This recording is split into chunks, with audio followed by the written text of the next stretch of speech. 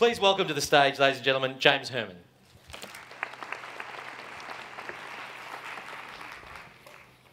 Hi.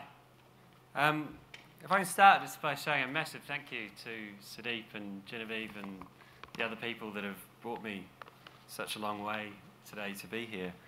And, um, you know, you've no idea after spending a few weeks in China just how nice it is to be in a country with Facebook and road rules. Um, and beyond that, you know, as an advertising person, it's like it's a real pleasure to be set among a group of speakers from walks of life that are as interesting and as meaningful as, as the speakers that are here today. So it's really awesome to be here. Thanks for having me. Um, what I usually talk about, these sorts of things, is how much more effective a more creative approach can be in business. And we're now fortunate to be able to prove numerically and beyond any doubt that more creative marketing is more effective from a commercial standpoint. But once you buy that, right, once you understand that, and once you, once you believe that, another question very quickly becomes central. How then do we become more creative? How then do we become more creative?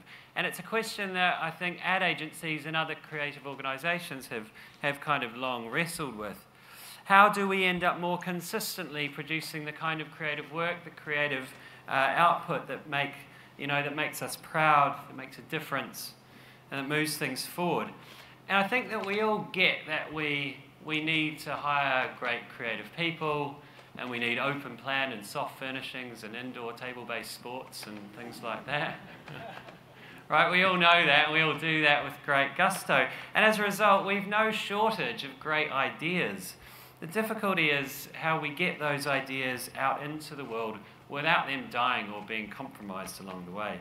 We tend to all be, I think, frustrated at how uncommon it is to realize great ideas and how much more common it is to start with world changing thinking and end up making something that we'd rather forget.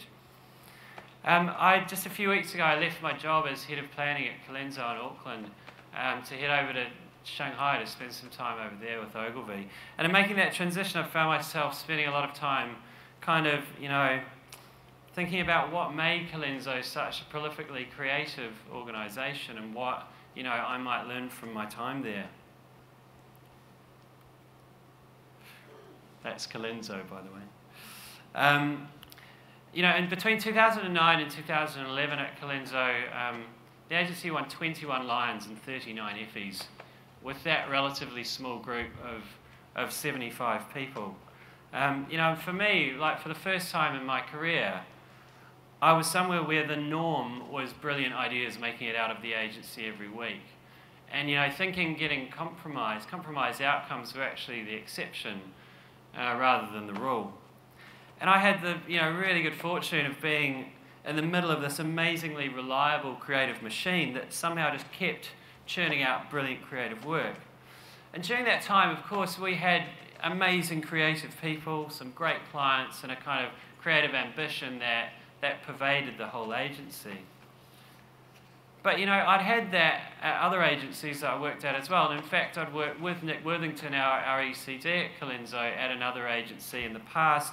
And you know, despite were those unquestionable brilliance, that agency hadn't been nearly as consistent in terms of being able to get those brilliant ideas um, out into the world. And I think that's something that you know most of us have noticed it isn't just about having great creative people. You know, there's, there's like something else that matters as well. And so at Colenso, you know, there were and there are brilliant creative people, but there was something else as well through that time. And I often find myself wondering whether it was this thing that's the real reason why Colenso managed to so consistently produce such great work. Um, some of you know Brent Smart, probably. Um, he's an Aussie. Uh, he's an ad guy He was the managing director who led Colenso into that period of such success. Um, and any of you that knows Smarty will know he's a really brilliant leader for all kinds of, um, you know, all kinds of reasons.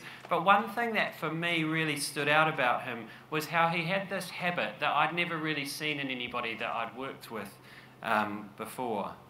Smarty had this really cool habit of talking everybody up behind their backs. He would constantly remind me how brilliant the people were that we worked with. You know, he'd say to me, What's genius about Steve Cochran is like he's the creative that can come in on the hardest briefs when no one can crack them and it's a big fucking mess, and Cochran will just calmly walk in and do a D&AD winning campaign. He would say, you know, what's amazing about Kyle Melnick is he's the only finance director in the industry that cares as much about the creative works as the creative department. He'd say what's the, you know, the genius of Paul Courtney, who was our head of production, the genius of PC was that he never said no. He could figure out how to do anything, and really you could like tell PC you needed to build a time machine, and PC would just ask for a couple of days to figure it out.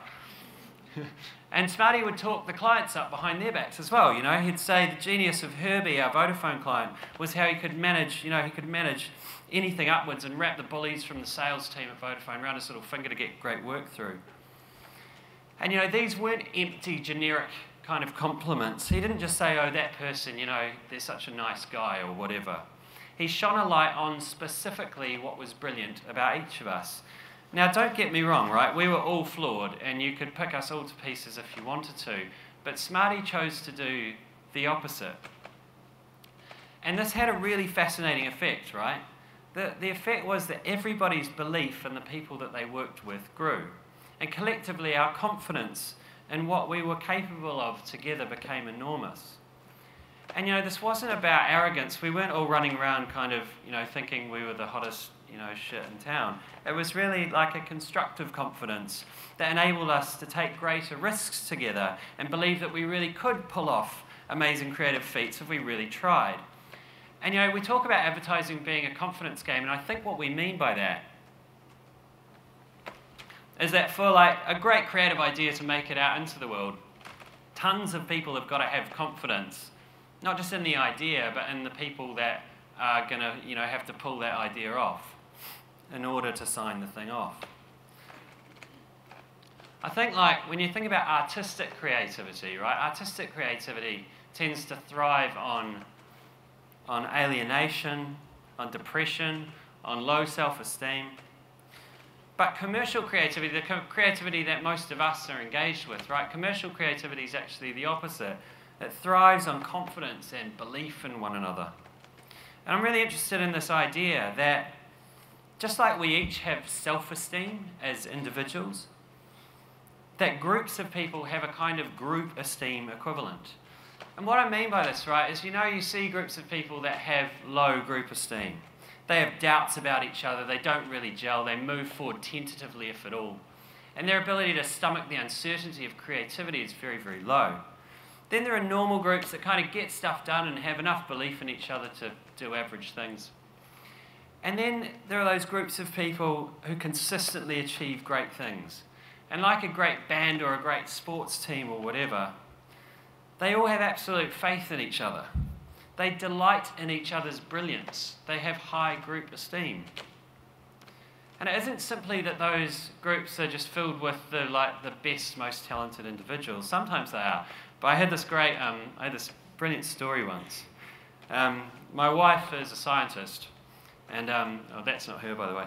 Um, and uh, my wife's a scientist, and, and that's a, an American evolutionary biologist by the name of David Sloan Wilson. Um, and we were having dinner with David one night. And David studies how groups evolve by working together. And as you can see, and as you'd probably expect of one of the world's preeminent evolutionary biologists, David is a massive nerd. And that night he told us about his favourite experiment. And this is what he told us. An animal breeder colleague of his had tried to evolve hens for productivity in two different ways. Both involved housing hens in groups in cages, which is standard practice in the poultry industry. The first method involves selecting the most productive hen within each cage to breed the next generation of hens. The second method involves selecting the most productive cages and using all the hens from those cages to breed the next generation of hens. So, what do you think happened? The second method, where they'd selected the most productive cages full of hens, that method caused egg productivity to increase 160% in six generations, which apparently is an astonishing result as far as artificial selection experiments go. But the first method, where they'd bred with the superstar individual hens, caused egg productivity to perversely decline, even though the most productive hens were chosen every generation. After six generations, the farmer had produced a nation of psychopaths who pecked and murdered each other in their incessant attacks. That method favoured the nastiest hens who achieved their productivity by suppressing the productivity of other hens. And so David told us, I can tell you with confidence that the eggs in your refrigerator are brought to you by good hens. and what the experiment showed, right, his experiment showed that groups of chickens with high group esteem are more productive than those with low group esteem, despite the talent of the individuals. Now, back in the human world, you know, we might not literally peck each other to death, but we often figuratively do just that. We kind of create low group esteem by running around pointing out each other's flaws. It's such a common thing, isn't it, to feel frustrated by the shortcomings of others and to ease our frustrations by sharing them with someone who might understand. But doing this cultivates doubt. It erodes the confidence we may have been able to find in one another Group esteem is fragile and it's really easy to snuff out. But I think it's equally quick and easy to build high group esteem just by doing, you know, what Smarty does. That simple habit of bothering to observe the particular brilliance of those around us, then sharing that observation behind those people's backs. It really is such a simple act, but it has this kind of profound butterfly effect Let's say you do this once, right? About one person. You figure out what's brilliant about them and you mention that to somebody behind their back, right? Simply by thinking about and deciding what's brilliant about that person inevitably gives you a confidence boost in them. Then the people you make the observation to get a lift in confidence toward that person and they tend to on share your observation to others. And finally, the person who's been talked up notices others' confidence in them lifting creating in turn a lift in their own self confidence and engendering goodwill back in the opposite direction. And so the virtuous cycle begins. And that's just the result of one of these acts. Habitually doing this, as I saw at Colenso, creates groups of people with incredible confidence in each other who then exploit that confidence to do brilliantly creative things. Okay, so this is my idea for today, right? I think that we all too readily find each other's flaws. And I think we all too eagerly share those flaws behind each other's backs. And I think we pass this behavior off as a kind of benign bitchiness. Right, it's not particularly attractive, but it's not that harmful either. Really, though, I think we need to start seeing this for the profoundly harmful thing that it is. Something which, in fact, sabotages our chances of achieving brilliant creativity by cultivating doubt and low group esteem. And I think it should infuriate us when people behave in this way every bit as much as bad briefs and link tests and politics and all the other things which stifle creativity. And you know, even when we're not running around being critical of each other, we rarely talk each other up. When it comes to proving our value, we we're very much left to our own devices. I believe we can be better than this. And that the reward for being so will be that our best creative ideas more consistently see the light of day. All I think we need to do is make a habit of talking each other up behind each other's backs. That we should each go back to work after a award. That we should figure out what makes someone else on our team so brilliant. And that we should then tell everyone that behind their backs. And that we should keep doing it. I think we should all cultivate Smarty's peculiar habit. And that we should see what difference that makes to the quality of creativity at next year's award. Thank you very much.